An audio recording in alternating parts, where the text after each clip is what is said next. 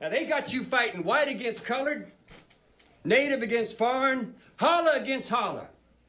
When you know there ain't but two sides of this world them that work and them that don't. You work, they don't. That's all you got to know about the enemy.